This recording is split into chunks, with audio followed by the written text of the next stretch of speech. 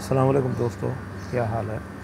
मैं हूँ Ghulam Murtaza, technical YouTube channel के साथ। मेरे चैनल का नाम है technical YouTube channel Mohammad Murtaza के साथ। ठीक है? तो बिस्मिल्लाह करते हैं आज की अपडेट के साथ। कोरोना के बारे में जो अपडेट्स हैं, यूएई में इस वक्त जो केसेस की रजिस्टर्ड तादाद है, वो है बाईस हज़ार छः सौ और रिकवर जो हुए हैं सात हज़ार नौ सौ इकतीस। और डेथ जो हैं दो सौ चौदह हैं। दो सौ चौदह का मतलब ये है कि कल दस थी, दो सौ दस थी तो आज चौदह हुई हैं तो चौबीस घंटे के दौरान सिर्फ़ चार डेथ हुई बहर यहाँ जो है तो अंडर कंट्रोल है सिस्टम क्योंकि यहाँ लॉ एंड ऑर्डर की पाबंदी की जा रही है। एस ओ पीज़ कोई भी फॉलो किया जा रहा है और लेबर कवानीन की पाबंदी की जा रही है, ठीक है? और उसके बाद जो वर्ल्ड की सिचुएशन है वो थोड़ा बहुत गंभीर है, बहुत सख्त है, जिसमें छियालीस हज़ार, छियालीस लाख सॉरी छियालीस लाख छब्बीस हज़ार छः सौ बत्तीस है। केसेस की तादाद है, रिकवर जो हुए हैं सोलह लाख उनासी हज़ार चार सौ अट्ठाईस हैं और डेथ की जो तादाद है तीन लाख ग्यारह हज़ार तीन सौ तिरसठ है। तो इसी तरह पाकिस्तान में अठतीस हज़ार सात सौ निन्यानवे केसेज हैं और जो रिकवर हैं वो है दस हज़ार आठ सौ अस्सी हैं। और जो डेथ की तादाद है आठ सौ चौंतीस है। तो यहाँ सूरत हाल बेहतर है, लेकिन थोड़ा पीक पर जा रहा है पोजीशन इस वक्त जो है कोरोना की पोजीशन पाकिस्तान में भी थोड़ा गंभीर होती जा रही है, क्योंकि लॉकडाउन ओपनिंग के साथ साथ थोड़े केसेस भी बढ़ रहे हैं और दूसरा हमारी जो टेस्ट कवर कैपेसिटी है वो भी बढ़ती जा रही है, जिसकी वजह से हमारे केसेस ज़्यादा हो रहे हैं। अच्छा कल हम, कल तक हमने आपको अंडरग्राउंड फिटिंग के बारे में बताया था तो आज हम आपको पट्टी फिटिंग यानी प्लास्टिक जो डक्ट होती है ना, उसकी फिटिंग के बारे में बताएँगे। ये नॉर्मल तौर पर मेन पे इंची की डाली जाती है और बाद में पौनी इंची की डालना तो मुश्किल नहीं है बारह इंची की चलाएँ तो अच्छा है। आप केबल जो है खुली खुली रहेगी। ठीक है? तो तो उससे पहले ये है कि ये काम जब शुरू किया जाता है, इसका पूरा काम ओपनिंग में होता है, यानी ऊपर ऊपर होता है, दीवार के अंडर नहीं होता है, ऊपर ऊपर होता है। जब रूम कमरे कंप्लीट हो जाते हैं, यानी प्लस्तर हो जाता है, पेंट हो जाता है तो उसके बाद ये काम शुरू किया जाता है। तो सबसे पहले जाते हैं, उसका तजिया करते हैं, यानी जायज़ा लेते हैं कि कितने रूम हैं क्या क्या मटेरियल है, उसके मुताबिक वो मटेरियल लिया जाता है, पट्टी फिटिंग ली जाती है और उसके जॉइंट होते हैं, फिर टी होती हैं, फिर फोर फोर जॉइंट होते हैं, यानी जहाँ चौक बनता है, उसके जॉइंट होते हैं, फिर उसके ऊपर बोर्ड होते हैं स्विच होते हैं, सारी चीज़ों को सेट करने के बाद वो ले कर आए। जब हम ले कर आते हैं तो सबसे पहले हम क्या करते हैं? मार्किंग करते हैं। मार्किंग इस लेवल पे होनी चाहिए कि अगर आपको, आप मालिक से पूछ लीजिए, अगर डबल सीलिंग कराना है डबल सीलिंग जो होता है, एक ऊपर छत होती है, एक नीचे होती है। तो डबल सीलिंग करवाते हैं आजकल लोग। डबल सीलिंग की अगर फिटिंग करनी है तो वो देख लें डबल सीलिंग जो होती है ढाई फुट या तीन फुट पर आती है छत से। अगर वो ढाई फुट पर है तो आप दो फुट में मार्किंग कीजिए। दो फुट पर मार्किंग कीजिए बोर्ड वगैरह, हर चीज़ की मार्किंग कर लीजिए और मार्किंग आपकी सीधी सीधी होनी चाहिए। बिल्कुल लेवल में होनी चाहिए एक्यूरेट होनी चाहिए। मार्किंग में अगर थोड़ा बहुत गलती हो जाए तो थोड़ा ऊँचे नीचे हो जाए तो वो फिटिंग जो है बुरी लगती है। ठीक है, इसी तरह बोर्डों की मार्किंग कर रहे हैं बोर्डों की सीधे सीधे वो लेवल के साथ कर रहे हैं। लेवल होता है ना छोटा वाला। लेवल के साथ आप मार्किंग कर लें। वर्टिकल भी सार मार्किंग कर लें, बिल्कुल सीधे सीधे होने चाहिए बोर्ड भी। ठीक है? उसके बाद आप ड्रिल मशीन ले लें। ठीक है? मार्किंग करने के बाद आप ड्रिल मशीन ले लें, एक एक मीटर पर होल करते जाएँ। जब आप स्टार्ट करें स्टार्ट से तकरीबन 100 मिली या 100 मिली रख के वहाँ से होल बनाने शुरू करें। इसी तरह जब दीवार ख़त्म हो रही हो तो वहाँ से 100 मिली पीछे करें। क्योंकि जब आप बेंड करते हैं तो उस वक्त पट्टी जो है लूज़ नहीं होनी चाहिए। वो फिक्स होनी चाहिए। ठीक है? यानी आप नाइन्टी बना रहे हैं या फोर वे बना रहे हैं या कुछ भी बना रहे हैं तो उससे थोड़ा फासले पर आपका होल होना ज़रूरी है, क्योंकि पट्टी बराबर फिटिंग होगी। तो आप फिर होल लगाते जाएँ, उसके बाद रावल प्लग होते हैं और रावल प्लग जो प्लास्टिक गटियाँ होती हैं, वो दबाते जाएँ। वो दबाने के बाद मुकम्मल होल कर लें। ठीक है? अपनी मार्किंग के मुकाबले मुकम्मल होल कर लें, ताकि होलों की बाद में आपको ज़रूरत ना पड़े। ठीक है? फिर एक इंची का या पोनी का स्क्रू होता है। ठीक है? थ्रेड वाला। वो ले लें। स्टार वाला होता है या फ्लैट होता है, वो ले लें। वो लेने के बाद आप पट्टी रखें सीधी सीधी और उसको दबाते जाएँ। ठीक है? उसको दबाते जाएँ या स्क्रू से टाइट करते जाएँ, वो दोनों सुरतों में अंदर चला जाता है। उसको दबाते जाएँ। अब आप पीछे होकर जायज़ा करें। आपकी पट्टी सीधी है कि नहीं? अगर आपकी पट्टी सीधी है, फिर आगे शुरू करें। पूरी पट्टी लगा लें। ठीक है? पूरी पट्टी लग गई आपकी। आप बोर्ड के जो कवर होते हैं, नीचे वाले, वो भी लगा दें। वो भी लग गए आप ठीक है? इस तरह आपके सीलिंग फ़ैन जो हैं, उनके भी पॉइंट लगा लें। लाइटों के पॉइंट लगा लें। सारी पट्टी फिटिंग करने के बाद, बोर्ड के कवर फिटिंग करने के बाद आप आप वायरिंग शुरू करते हैं। वायरिंग मैंने आपको बताया था कि सात उनतीस होती है। मेन वायरिंग सात उनतीस होती है। अगर एसी है तो उसके लिए डबल लाइन चलनी पड़ेगी। आपको जहाँ से रूम आपका जिस रूम में आप एसी लगाना चाहते हैं, वहाँ पर तक आपको एक डबल पट्टी लगाना पड़ेगी, यानी दूसरी पट्टी लगाना पड़ेगी। वो उसके ऊपर थोड़ा फासला छोड़ के लगा दें। दस मिली लगा दें, ठीक है? वो वहाँ तक चली जाएगी। इस तरह आप एसी की फिटिंग को अलग ले जाए, तीन तौर ले जानी पड़ेगी। एक आपको रेड ले जानी पड़ेगी, एक ब्लैक। ये दस एम की होती है या जो सात सात उनतीस होती है, ठीक है? नहीं, सात बवंजा होती है, मोटी केबल होती है इसी के लिए। सात उनतीस तो आप नॉर्मल डाल रहे हैं, पूरी। मेन फिटिंग में आपने सात उनतीस डाल रही यानी बोर्ड तक। बोर्ड से आगे जो आपकी डिस्ट्रीब्यूशन है, वो तीन उनतीस की होनी चाहिए। और हर पॉइंट के लिए तीन तीन केबलें आप डालेंगे। एक रेड डालेंगे, एक ब्लैक डालेंगे और एक जो है वो अर्थ डालेंगे। अर्थ बहुत ज़रूरी होता है, किसी भी फिटिंग में। मेन बोर्ड में आपने ऑलरेडी अर्थ लगाया हुआ है, वो ही आपके लिए काफ़ी है। वहाँ से आप लूप करेंगे, पूरी घर में वो अर्थ भी घुमाएँगे और पूरी केबल घुमा देंगे। मेन पॉइंटों तक आपकी केबल पहुँच गई है रोम तक पहुँच गई है बरामदे तक पहुँच गई है बोर्ड तक पहुँच गई है। आपके लेटरिन गुसल खाने का जो मेन बोर्ड है, वहाँ तक पहुँचा दिया आपने। अभी आप क्या करेंगे? बोर्ड तैयार कर लें। एक ही टाइम में बैठकर मेन बोर्ड जो है वो तैयार कर लें। बोर्ड तैयार करने का जैसे सिस्टम मैंने बताया है, वैसे ही तैयार करने हैं। वो अंडरग्राउंड के और उसके बोर्ड सेम ही तैयार होते हैं। लेकिन उनका फ़र्क सिर्फ़ ये होता है, उनका जो डब्बी होती है वो अंदर होती है, इसकी डब्बी बाहर होती है। ठीक है? ये ड्रिल मशीन के ज़रिए, स्क्रू के ज़रिए लगाई जाती है। चार स्क्रू लगा दें और उसको फिट कर दें, ऊपर। ही ठीक है? इसकी फिटिंग आसान होती है। उसके बाद उसका कवर होता है, वो कवर भी ऐसे ही बैठता है, यानी दो स्क्रू के साथ बैठ जाता है। तो यानी जो मेन बोर्ड होता है, जिसके ऊपर बटन वगैरह लगे होते हैं। बाकी बोर्ड की क्वालिटी सेम है, बोर्ड जो है सेम तरीके से लगाए जाते हैं। फ़र्क सिर्फ़ ये होता है कि आपने पट्टी लगानी है। अच्छा आप केबल डालेंगे, केबल डालने के लिए आपको होल्ड करना ज़रूरी होता है। छोटा सा पीस केबल को काटें और पट्टी के अंदर दबाते जाएँ।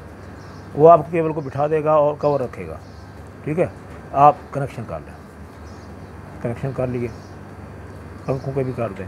अगर पंखे और लाइटें आपके पास मौजूद हैं तो वो भी लगा दें। तो वो लगाने के बाद आप बारी बारी उनको टेस्ट करें। आपका टेस्टिंग कंप्लीट हो जाए, सप्लाई ओके हो जाए तो फिर आप उनके जो कवर हैं, यानी पट्टी फिटिंग का जो कवर है, वो लगाएँ। इसके कवर लगाने के दो तरीके हैं। पहला ये है कि एक एंड पर आप जाएँ, उसका किनारा अंदर स्वीप करें, अंदर बिठाएँ। अंदर बिठाने के बाद उसको स्वीप करते जाएँ।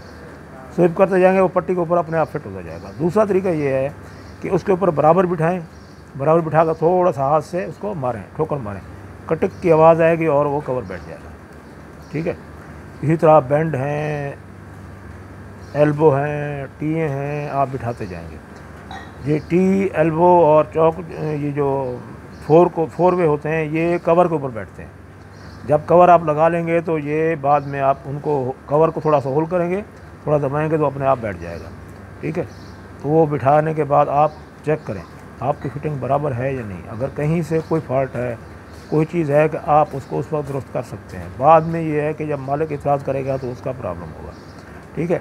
आप सीधा भी देख लें। आपकी पट्टी फिटिंग बिल्कुल सीधी है, बोर्ड आपके सीधे हैं, हर चीज़ आपकी सीधी है और चालू हो गया तमाम सिस्टम तो आप फिर वन बाई वन मल्टीमीटर के ज़रिए सप्लाई चेक करते जाएँ।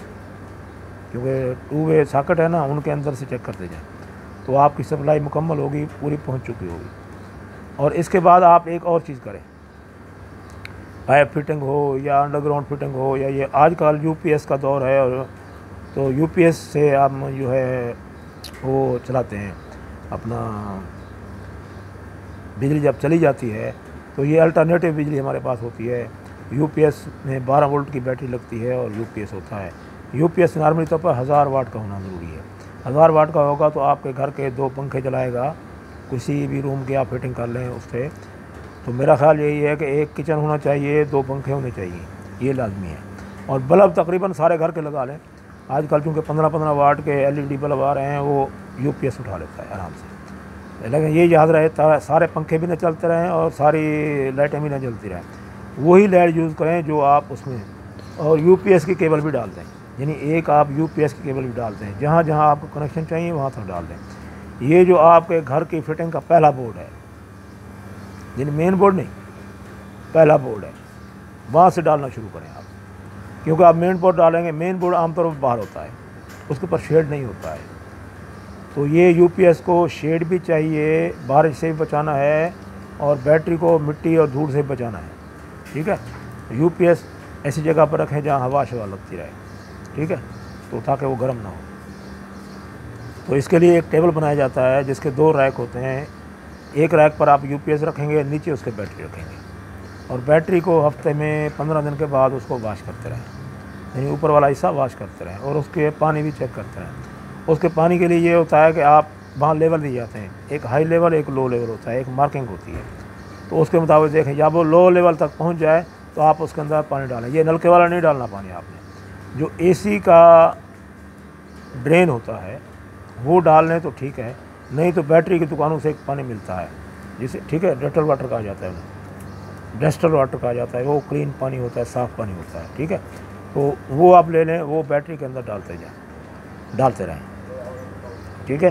तो ये इस तरह आपकी बैटरी दो साल तक आराम से चलेगी। और यूपीएस का ये होता है कि यूपीएस को सप्लाई देने के लिए आप, आपकी जो सॉकेट है, उसमें से सप्लाई दे सकते हैं। वो यूपीएस को आपने सप्लाई दे दी। अब यूपीएस का काम ये होता है, वो एसी बिजली को लेता है, उसमें डीसी में कन्वर्ट करता है डीसी में कन्वर्ट कन्वर्ट करने के बाद वो आपकी बैटरी को चार्ज करता रहता है। जब आपकी बैटरी चार्ज होता जाती है, वो ऑटोमेटिक डिस्कनेक्ट कर देता है। ठीक है? और जब आपकी सप्लाई चली जाती है, वो ऑटोमेटिक तरीके से आपको सप्लाई देता है। यानी सप्लाई देता है, एक विद इन वन सेकेंड जो आपकी सप्लाई ढीम होगी तो दोबारा फिर आ जाएगी। ठीक है? तो इसको हम यूपीएस कहते हैं। अच्छा यूपीएस का जो दूसरा तरीका आजकल निकला है, वो है सोलर वाला। सोलर की दो या एक प्लेट हम लगा लेते हैं। ठीक है? तो उसका जो कनेक्शन हम सीधा बैटरी को दे देते हैं। दरमियान में हम एक चार्जर लगा देते हैं। उस चार्जर का ये काम होता है, वो बैटरी को चार्ज करता है और बाद में डिस्कनेक्ट कर देता है।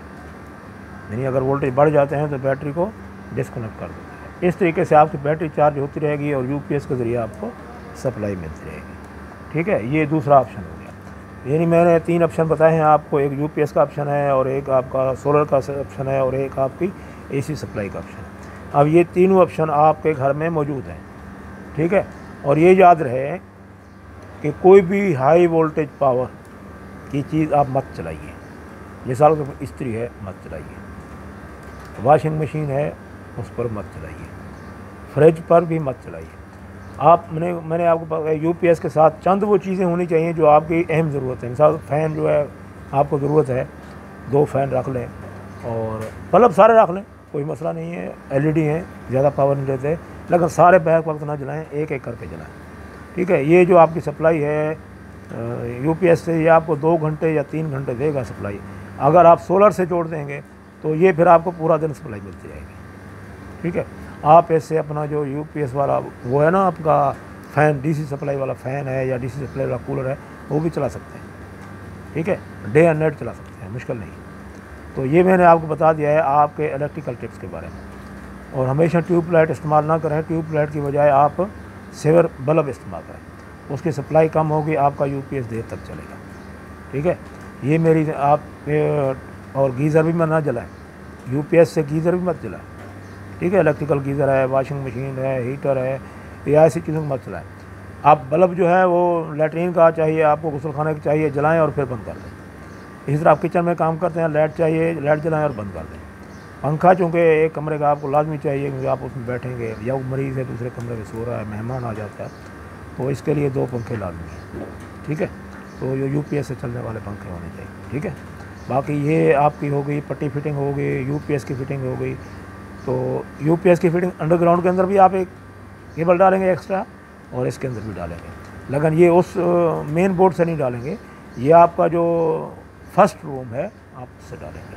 क्योंकि यूपीएस को साया चाहिए होता है, बारिश से बचाव चाहिए होता है, हवादार जगह चाहिए होती है। ठीक है, ये आप बरामदे में भी रख सकते हैं और कमरे के अंदर भी रख सकते हैं। दोनों जगहों पर महफूज है। ठीक है, ये हो गई आज की इलेक्ट्रिकल टिप्स और उसके बाद हम दूसरी वीडियो आपको सियासी टिप्स के बारे में देंगे। अभी जो मैंने आपको टेक्निकल टिप्स दी है, अगर ये वीडियो मेरी आपको पसंद आए तो इसको लाइक कीजिए सब्सक्राइब कीजिए शेयर कीजिए और कमेंट्स दीजिए। अगर वीडियो पसंद आए तो कमेंट्स दीजिए। कमेंट्स कोई अच्छा सा दीजिए। ठीक है? तो ये थी आज की मेरी टेक्निकल टिप्स ओके, अल्लाह